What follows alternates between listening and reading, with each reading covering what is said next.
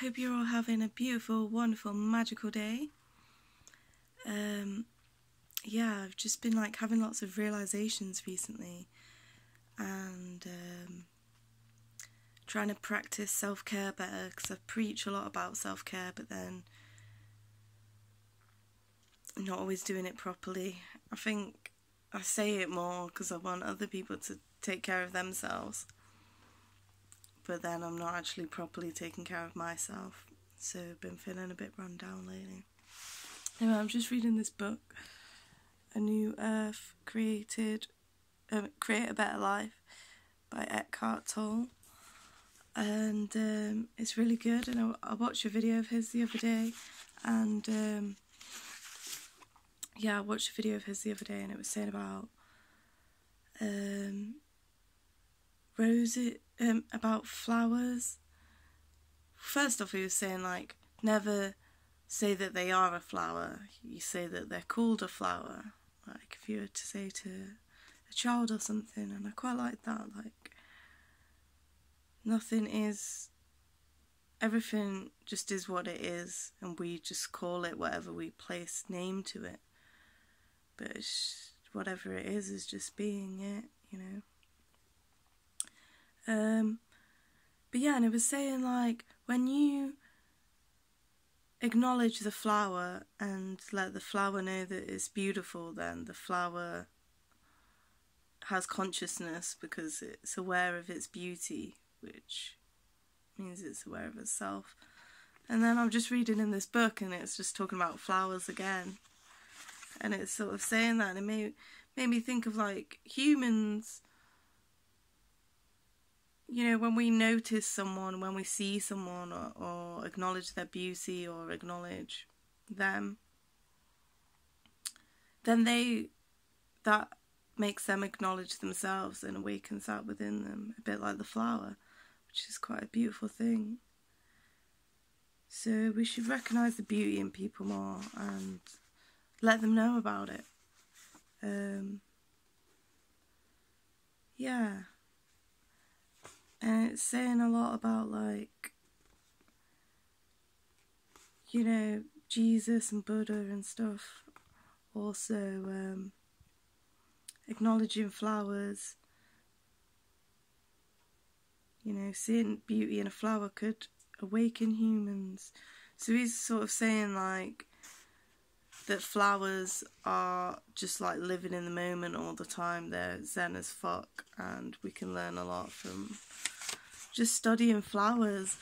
And you know, I had this connection with this one flower in Hillsborough Park. There's like a little flower garden, and I went in there in the summer when I was feeling a bit down, and it just brought me to life being in there. And there was just this one flower that smelt so good. It was like oh, this beautiful, beautiful rose, and there was like dewdrops on it, and it just smelled. It was the most amazing smell I've ever smelled, and I just kept going back to it to oh, breathe it all in. It was like flower crack. um, but yeah, it's really, really nice. And yeah, I've even thought about getting that. I took a picture of the the rose. excuse me. And I even thought about getting it tattooed on me so I like never forget the scent of that rose. And now I'm thinking of it even more because it has a lot more meaning. Like it will remind me to be still and in the moment, just like the rose, and to appreciate others and see the beauty in others and acknowledge them so that they can acknowledge themselves just like that rose. So, yeah, just I like that. Um, you know, and I think it's cool. Like, I buy all these books, and obviously, I don't read them right as I buy them. But I think that's a cool thing that things come into your life when they're meant to. So, like, now I'm reading this book and it di- links directly to a video that I watched yesterday. I suppose I only picked up the book because um, me and my friend Jake were talking about um, old Eckhart. So then that reminded me that I had a book by him. So then now I'm reading it and it linked to that video that I watched yesterday. So I like the cool synchronicities in life. Um, really, yeah, yeah, it's cool. Even um, just reading the preface made me feel really happy. so yeah, so yeah, it's talking about enlightenment as well, and saying how the re- like flowers are already en- enlightened, aren't they? Um, and he was saying about like birds and stuff, and like evolved to have wings, and they've like broken free from their oppression, sort of thing. Um, and it said about the butterfly as well, like they'll go through a lot of stress before you know, going in, turning into a butterfly.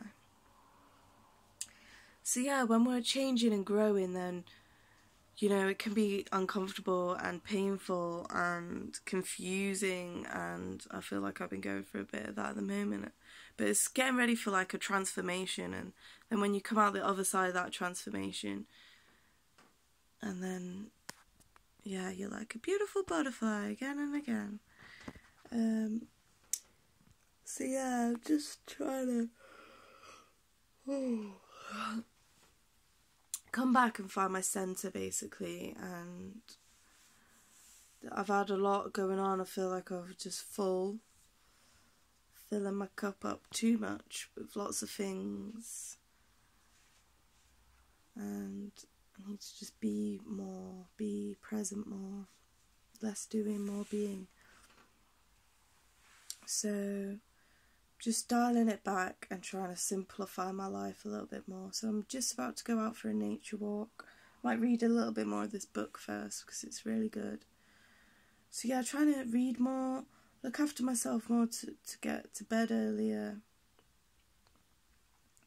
Because I did start doing that straight after the new moon, but then I sort of stopped. I get distracted real easily by different things um, by people. I'm a real social person, and then I just get sucked into chatting with peeps and stuff. But I need to oh, take some time for me because yeah, I'm looking pretty tired and yeah, crappy. so yeah, just gonna take some time to come back to center and yeah. Be present and let let go of some of the baggage and let go of some things release a bit more to fill up with more good stuff. So yeah. A lot of this has been coming from my chats with Jake so thank you Jake if you're watching um, Really appreciate all our good chats and all your amazing advice. And it's great to like talk to people and share our thoughts and ideas or things we've learned and thoughts or ideas of other people. Um, yeah, sharing is caring, guys. So we should all share our knowledge and share the love and share what we've learned with each other to help elevate each other. And yeah, it's all good. Everything's all good, guys. So, yeah, so have a wonderful, beautiful day, and yeah, let go, be free. Oh, sorry, I'm yawning loads. Um, but yeah, have a beautiful, wonderful, fabulous day, everyone. Be present in the moment and just yeah, do something nice for yourself today and every day, and yeah, be your wonderful selves. Mwah. Love you. Peace. Bye. Love you.